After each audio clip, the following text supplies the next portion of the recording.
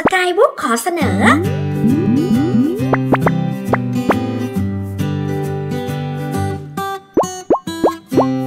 นิทานเสียงแสนสนุก เทพนิยายนานาชาติ เรื่อง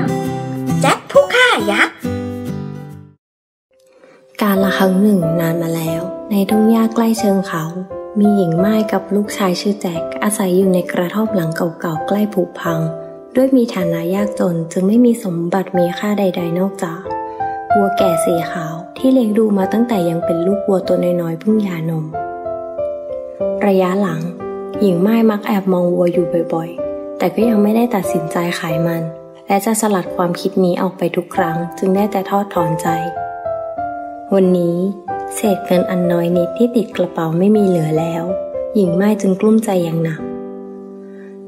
ลูกเอ้ย แม่คงต้องขายสมบัติชิ้นสุดท้ายนี้แล้วล่ะ พอรุ่งเช้า หญิงไม้ก็เอ่ยขึ้นกับลูกชายว่า แจ็ค แม่ไม่มีเงินแม้แต่จะซื้ออาหาร เราต้องตัดสินใจขายวัวกันแล้วล่ะ เดี๋ยวลูกจูงวัวไปที่ตลาด มันน่าจะขายได้ราคามากอยู่นะ แม่ฮะ สงสารมันจัง มันอยู่กับเรามาตั้งนาน แจ็คไม่ได้ทัดทานแต่ก็อดสงสารเจ้าวัวเพื่อนยากไม่ได้ แจ็คจูงวัวออกจากคอกโอบกบมันด้วยความรัก และเมื่อนึกถึงข้าวของมากมายที่มีขายอยู่ในตลาดก็ตื่นเต้นดีใจ แจ็คปีนขึ้นไปขี่หลังเจ้าวัวเพื่อนยาก ผิวปากทำเพลงเสียงดัง กระตุกเชือกให้วัวเดินไปตามทางฮูฮูฮูฮูฮูฮูฮู